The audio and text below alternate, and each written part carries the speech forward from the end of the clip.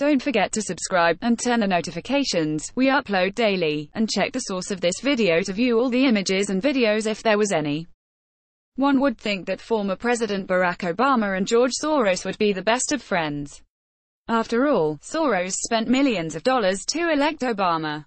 But as it turns out, things are a bit rocky, and Obama is furious at George Soros for what he just did. There is perhaps nobody more influential on the left than George Soros. Being one of the richest people in the world, he can throw around a lot of money for the causes he cares about. And the causes he cares about are all on the left, with many describing the man as a socialist. He has dropped boatloads of money for everyone on the left, from Barack Obama to Hillary Clinton, and so on. Being perhaps the largest funder of the anti-Trump resistance, you would think that he and Barack Obama, whose legacy President Trump is looking to destroy, would be the best of friends. But according to a new interview conducted by the New York Times, George Soros doesn't have much nice to say about the former president he helped elect.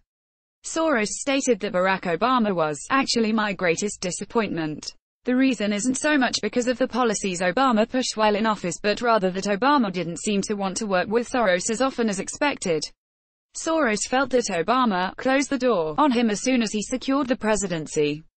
Recalling a phone call that he received from Obama after the election, Soros made it seem as though the then president-elect was looking to simply thank him, and then end the call. Soros instead wanted to speak with Obama longer, and said that he was able to stretch the call slightly longer than it seemed Obama wanted, but that the call itself only lasted eight minutes. The billionaire mentioned how he was hoping that Obama would consider him as a sort of consultant on financial and economic issues but that seemingly didn't play out, and Soros has a theory as to why. He said that Obama is known to take his supporters for granted and to woo his opponents. That means that Obama didn't really want to talk to Soros because he was already on his side. He was more interested in getting his opponents to like him than he was to help people already on his side. This likely comes down to the former president only caring about himself, and having a massive ego. He doesn't like when people don't like him, and will fight to try to get them to see him as a friend. But because he only cares about himself, he doesn't care much to help friends that he already has, people like Soros. It seems that, at least in the case of Soros, that mindset isn't serving him well to keep friends that he once had.